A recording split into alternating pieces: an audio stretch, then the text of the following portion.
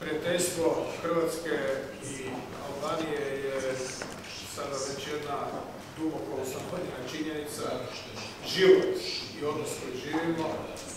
Htjeli bismo Albaniji pomoći više u ulasku u Europsku uniju, ne, neću koristiti taj izraz na putu prema, e, to ne znači ništa, na putu prema Europskoj uniji, to je put e, koji je, kao i svaki put u životu, ovdje imamo Dakle, konkretan cilj. Albanija je po meni trebala odavno biti u puno višoj fazi integracije odnosu Nije bilo nijednog realnog, nastaje biti realnog, političkog, sigurnosnog, pa ni ekonomskog razloga da Albanija ne bude sada već pri kraju pregovora.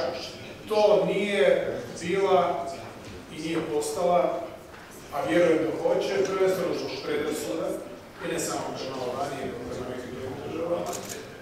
Mada svi racionalni argumenti govore u prilog tome da su države kao Albanija i Sjeverna Makedonija trebale biti u Europskoj uniji već davno, i možda ne davno, trebali su sad biti već prije ulazka I da nije bilo ovog nesretnog rata u Ukrajini, vjerojatno ni ovaj napredak koji ste učinili u zadnje vrijeme ne učinili. Ali mene se u tome pita kao i sve i većinu malih država u Europskoj uniji, bez obzira bio predsjednik ili premijer, da se pita nas se vrlo malo. Ali nastavit ćemo govoriti o tome. Toliko možemo pomoći.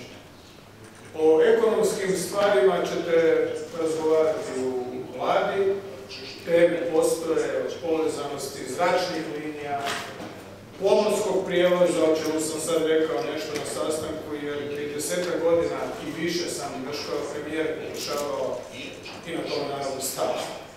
Jer kasnije nisam mogao afirmirati e, jednu ideju, prijedlog da se pokuša, ali to je potrebno iz hrvatske strane učiniti dosta, u povezivanju, cestovnom povezivanju Albanije više koristi hrvatskom interesu.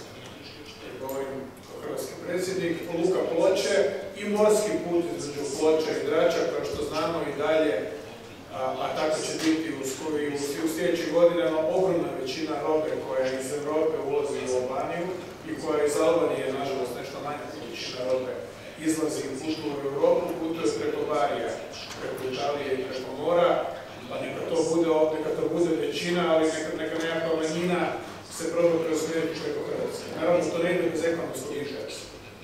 Dakle, ukoliko je takav transport skuplji, a puno indikatora ukazuje na to da je skuplji, posebno ako se putuje iz srednje i istočne Europe prema Albaniji, onda bi to moglo biti nešto o čemu valja razmisliti. Ali za to moje nadležnosti prestaju s ovom rečenicom. Dakle, nadam se da će to za to nadležni koji nešto mogu učiniti. Pa i oni koji su se interesirani za posao, što ne moramo u svakom pogledu država. Dakle, još jedna mlada puna podrška i neću propustiti nijednu priliku, kao na zadnjih deset godina, da naglasim koliko je važno da Albanija i Sjeverna Makedonija, ali i danas i Rivos, predsjednik Albanije, postane dio evropskog društva što je moguće. Jer jedni razlog su prednosti u dijelu Europe. Predrasude prema Balkanu, prema muslimanima, da se ne lažemo. Dakle, Albanija je nominalno, tehnički, većinski zemlja koju nastanjuju građani muslimanske vjeroispovijesti, ali ne samo muslimanske vjeroispovijesti, a to je u zapadnoj Europi očito postalo problem. To je činjenica.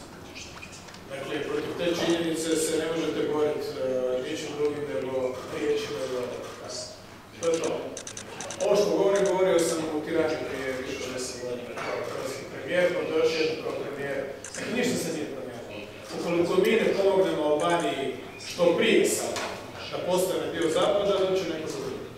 Mislim da je to dovoljno jasno.